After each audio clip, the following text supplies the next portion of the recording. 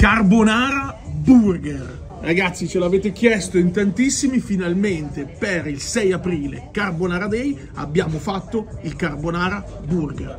Salsa con tuorlo di amatrice, guanciale di amatrice, carne di amatrice, pane di Faccio, amatrice. ma quello è un crispy.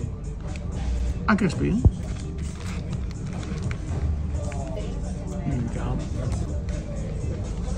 No, è un crispy.